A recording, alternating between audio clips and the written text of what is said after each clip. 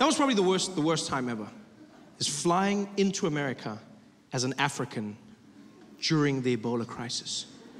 It was the craziest thing I've ever seen in an airport. You'd walk in, there'd be tension, they'd usher everybody into a special quarantine area, ask you questions, questions that they don't normally ask. The number one question they always ask was, Sir, have you been in contact with Ebola? They'd always ask, Sir, have you been in contact with Ebola? I love, I love the sincerity of the question. Like there was a chance my answer could be yes. and next stop, Disney World. Like, like, what kind of person do you think I am that I'd still be embarking on a journey, having knowingly been in contact with the most deadly disease on the planet? Like, who do you think I am that I'd be there like, I don't care. Booking.com has a zero refund policy. I'm going to Disney World, even if it kills me, Mickey Mouse, and everybody else, I'm going. Have you been in contact with Ebola? And they always said it like Ebola was like a distant relative. I love the phrasing. Have you been in contact with Ebola? Yeah, I spoke to him last week. He's doing well, eh? Thank you very much for asking. Ebola made flying a nightmare. Because Ebola was one of the craziest things I've ever seen in terms of the human condition, how quickly we're taught to panic.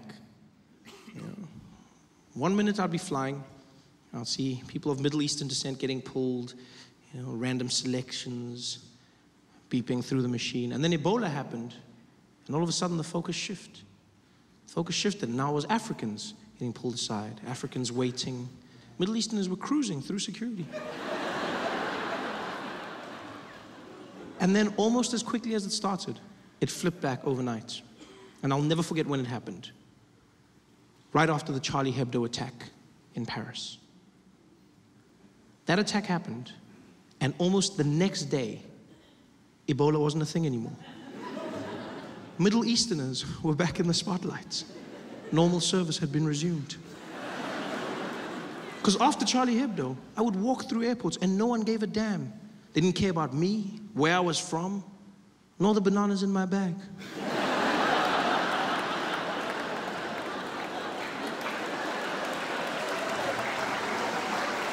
I just, I just cruised through security. Charlie Hebdo. Terrorist attack in France. Everyone led with it. CNN, breaking news, terrorists have attacked Charlie Hebdo headquarters. BBC, and in, and in breaking news, unconfirmed reports saying 12 people have been killed by terrorists who have attacked. Everyone said they were terrorists. It was weird to me because we didn't know that they were terrorists. We just knew that they were Middle Eastern.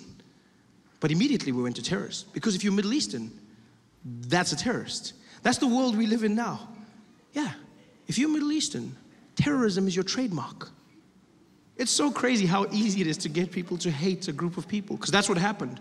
Charlie Hebdo, and then everyone started saying things about Muslims. These damn Muslims, these damn, we gotta stop Islam. That's what we gotta do. We gotta stop these Islamists, these Muslims. Now, I'm not saying all Muslims are terrorists, but all terrorists are Muslims. it sounds really smart, doesn't it? it sounds really smart. Yeah, but it's not. It's stupid and it's hate speech. That's what it is. It really is.